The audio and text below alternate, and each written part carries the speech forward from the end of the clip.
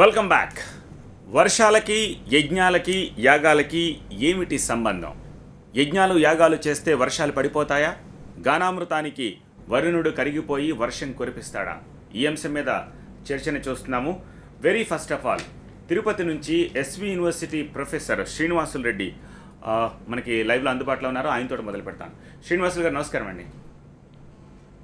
నమస్తే అండి. హా. ఆర్టిఫిషియల్ రెయిన్ లేదా దీన్ని క్లౌడ్ సీడింగ్ అంటారు. దీనికి మనం ఏం చేస్తున్న? ప్రభుత్వాలే ఆకాశంలోకి వెళ్ళి విమానాల ద్వారా silver iodide calcium iodide salt ammonia nitrate వీటన్నిటిని వెదజల్లి వర్షాలు కురిపిస్తూ ఉంది. ఇంకా యాగాల వల్ల ఎట్లా కురుస్తాయని మీరు అనుకుంటున్నారు. యాగాల వల్ల యాగాల యాగ ద్రవ్యాలు అదేవిధంగా అందులో వేసే ధాన్యాలు ఇవన్నీ కూడా అవి మండించడం వల్ల ఆ పొగంతా పైకి పోయి అంటే ఆ రోజులు విమానాలు లేవు కాబట్టి ఆ పొగ పైకి పోయి మేఘాలు తాకడం వల్ల అది మేధోమదనం జరిగి వర్షాలు కురుస్తాయి అనేది ఇది ఫిజిక్స్ ప్రొఫెసర్స్ కూడా ఒకసారి నేను ఒక వ్యాసం రాసేదానికి పోయినప్పుడు చెప్పారు అన్నమాట కాబట్టి పైనుంచే కాదు కింద నుంచి కూడా పైకి అంటే విమానాల ద్వారా వెజ్జలే వాటిని కింద పొగ ద్వారా కూడా అవి పైకి వెళ్ళడం వల్ల వర్షాలు పడతాయి. కాబట్టి ఇది కూడా ఇది పాసిబిలిటీ పాసిబులే అని చెప్పడం జరిగింది.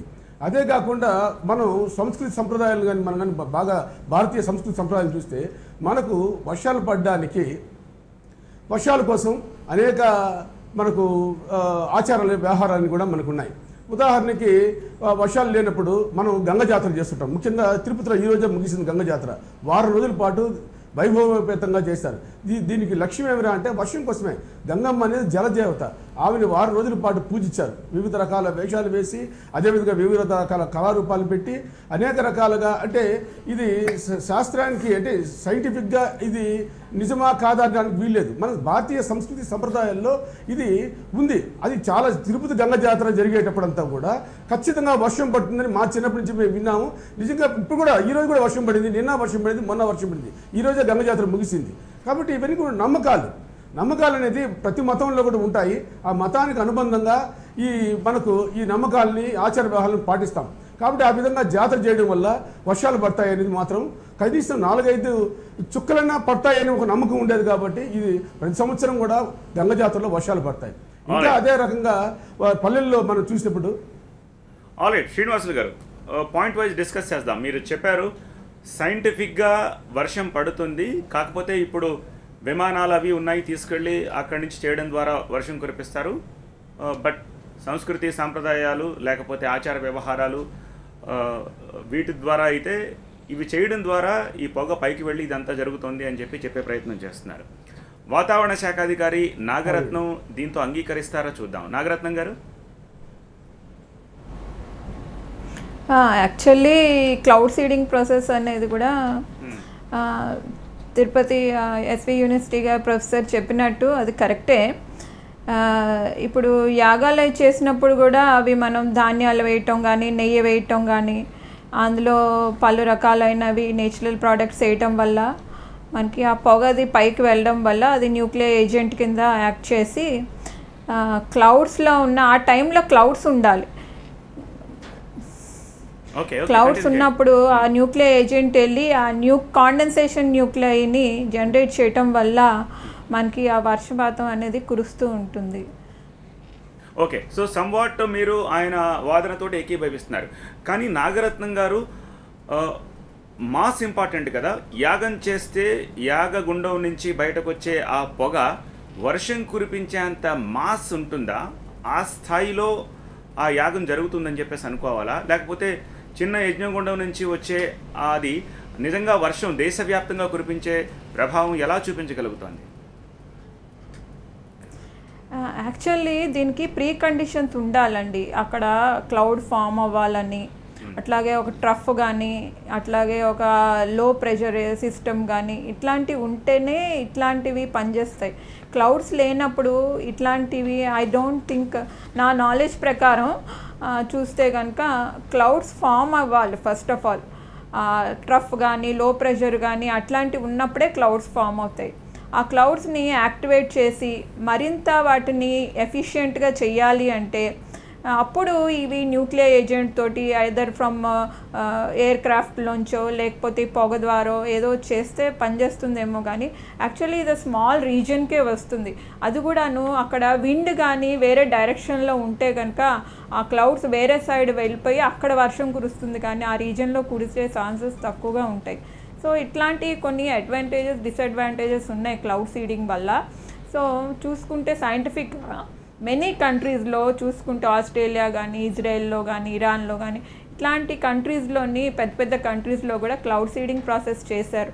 But pre conditions for the formation of cloud కొంత పెద్ద గొప్ప రెయిన్ ఇచ్చే క్లౌడ్స్ ఉండాలి ఆ రీజియన్లో కానీ దేశవ్యాప్తంగా కురిచేంత కెపాసిటీ ఐ డోంట్ థింక్ అండి. ఓకే శ్రీనివాసులు గారు? సమ్ ఎక్స్టెంట్ మీ వాదనతో ఏకీభవిస్తున్నారు. ఇందులో సైన్స్ కూడా ఉంది. కానీ దేశవ్యాప్తంగా కురిసే అవకాశం లేదు. అట్ ది సేమ్ టైం ఏంటంటే ఆ చిన్న యజ్ఞగుండం నుంచి వచ్చే ఇప్పుడు మీరంటూ ఉన్న ఆ సైంటిఫిక్ థింగ్స్ ఏవైతే ఉన్నాయో అవి ఆ ప్రాంతానికి మాత్రమే పరిమితం అవుతాయి. అట్ ది సేమ్ టైం గాలి ఉంటే కనుక వేరే చోటకి వెళ్ళిపోయి ఉంటాయి. ప్రీ కండిషన్స్ కూడా ఉండాలి. ఇవన్నీ ఉంటేనే సాధ్యం అవుతాయని చెప్తున్నారు. సార్ యజ్ఞగుండం ఒకటే ఉండదు సార్. యాగాలు చేసేటప్పుడు అనేక యాగగుండ యజ్ఞగుండాలు ఉంటాయి అక్కడి నుంచి పొగ ఒక బాగా పెద్ద ఎత్తున ఆకాశానికి చేరుతాయి సార్. కొండమ తిరుమల మీద యాగాలు యజ్ఞాలు చేసినప్పుడు చూస్తే భారీ ఎత్తున పొగ పైకి వెళ్తుంది అందులో ఈ నెయ్యి కానీ తర్వాత వేసే ధాన్యాలు అప్ప అనేక యాగ ద్రవ్యాలన్నీ కూడా వీటిని అంటే విమానంలో వెదజల్లే విధంగా రసాయనిక చర్య ఎట్లా జరుగుతుందో అటు జరుగుతుంది అనేది మాత్రం మా ఇక్కడ ఫిజిక్స్ ప్రొఫెసర్ ఒక సార్ కూడా చెప్పడం జరిగింది. అంటే శా- శాస్త్రీయతకు కొన్ని లోపడకపోవచ్చు కానీ ఇవన్నీ కూడా నమ్మకాలు. ఇప్పుడు దేవుడు నమ్మే వాళ్ళు ఎక్కువ మంది ఉన్నారు. కాబట్టి ఓహో ఈ విధంగా పడుతుందేమో అనే నమ్మకం అనేది కలుగుతుంది. సైంటిఫిక్కి సైన్స్ సైన్స్ అని చెప్తుంది ఇంకో రకంగా కూడా చెప్పచ్చు. కానీ ప్రజల నమ్మకం కూడా ఇందులో వేదకాలం నుంచి మనకు ఒక నమ్మకాలు ఉన్నాయి. అదేవిధంగా జానపదులకు అనేక నమ్మకాలు ఉన్నాయి. జానపదుల ఆచార వ్యవహారాలు ఉన్నాయి. ఇవన్నీ కూడా వాటిని అంటే వర్షం కోసం ఎన్నో తపనలు పడతారు. అంటే వాన కోసం ఇవన్నీ పడతాయి పడినా కూడా. అదే దీనివల్ల కాదు అంటే దానివల్ల కాకపోవచ్చేమో. కానీ ప్రజలు మాత్రం వాటిని ఖచ్చితంగా నమ్మి తీరుతారు సార్. ఓకే నవ్ యోట్ అండ్ రమేష్ గారు. ఇద్దరి వాదనలు విన్నారు. సో వాట్ యూ సే అంటే ఇప్పుడు మన ఎస్వి యూనివర్సిటీ ప్రొఫెసర్ గారు చెప్తున్నారు ఇది నమ్మకము అనేది వారు చెప్తున్నది.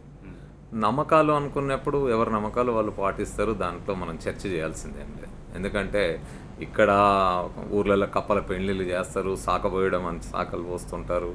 రకరకాల పద్ధతులు వారు అన్నట్టు ఒక దగ్గర గంగ జాతర చేయొచ్చు ఇంకో రకంగా చేయొచ్చు. వాటికి సైంటిఫిక్ ఎవిడెన్స్ కానీ సైంటిఫిక్ బేస్ కానీ ఉండదు. సో మనం దాని గురించి చర్చ చేయడానికి ఏముండదు. అది నమ్మకం వాళ్ళ నమ్మకం వాళ్ళు చేసుకోవచ్చు. కానీ ఇక్కడ సైన్స్ లాగినప్పుడే చర్చ వస్తుంది. ఎందుకంటే ఇప్పుడు మనం ఇక్కడే కాదు మీరు అమెరికా లాంటి దేశాల్లో చూస్తే రెయిన్ డ్యాన్స్ చేస్తారు. అంటే అలా చేస్తే వానలు పడుతున్నాయి అనేది చాలా దేశాల్లో ఇలాంటి మూఢనమ్మకాలు ఉన్నాయి.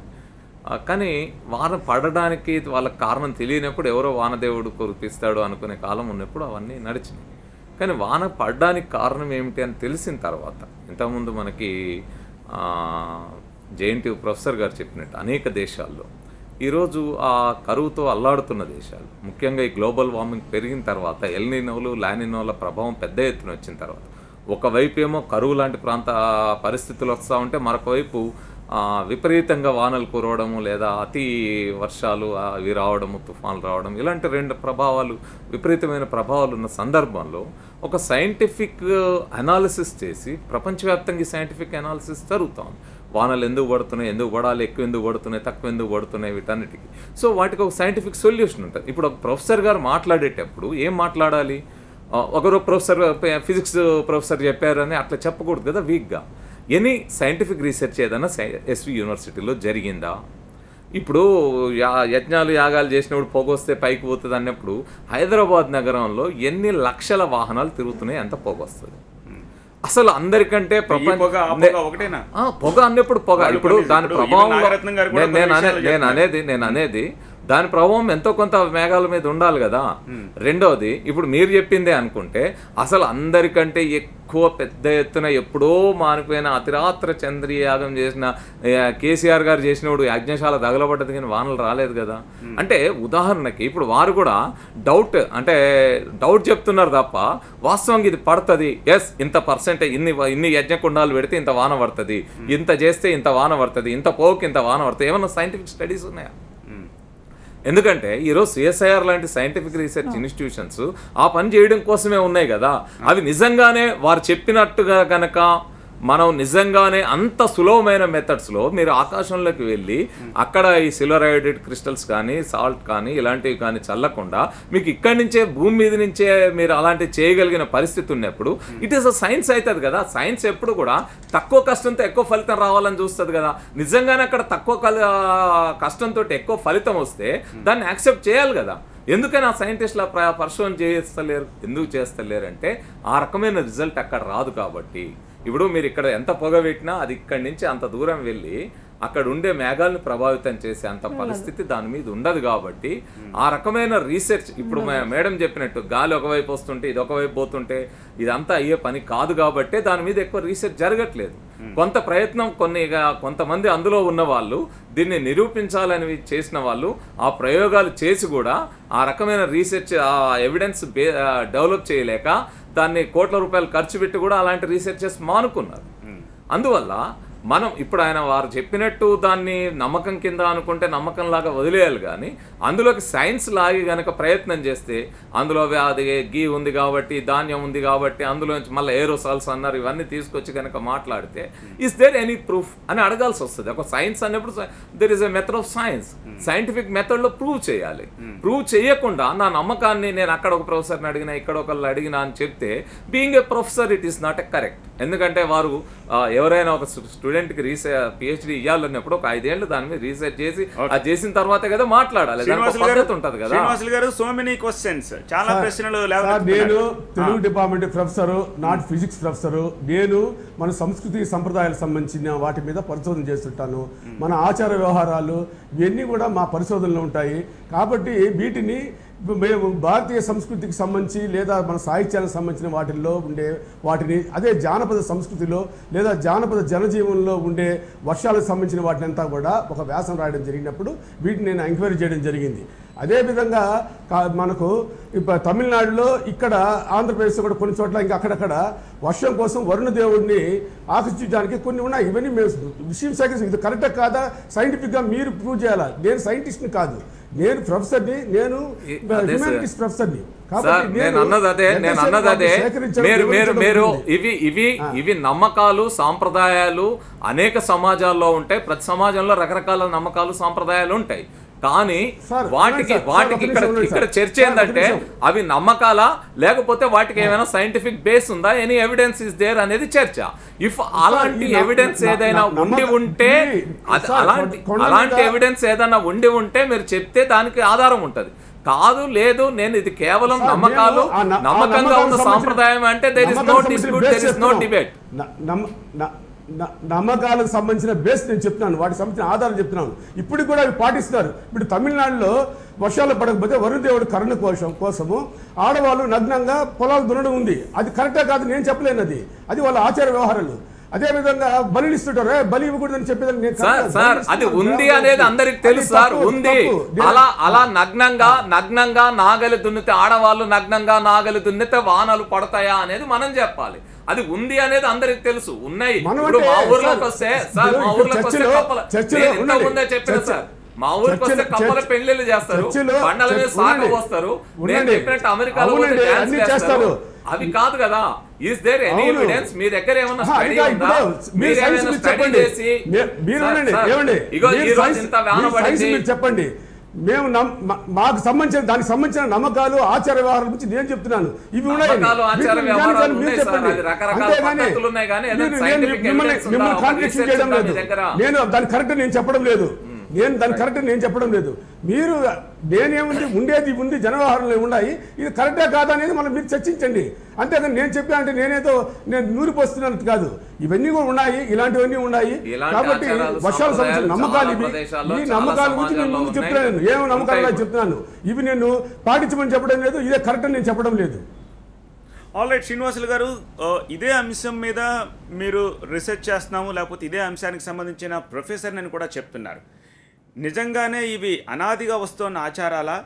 లేకపోతే అప్పటి వాతావరణ పరిస్థితులకి అనుకూలంగా ఉండి ఇప్పటికీ అనుకూలంగా ఉండే ఆచారంగానే దీన్ని మనం చూడాల్సి ఉంటుందా? ఓ చిన్న బ్రేక్ తర్వాత చర్చను కొనసాగిద్దాం. చూస్తూనే ఉండండి టీవీ నైన్.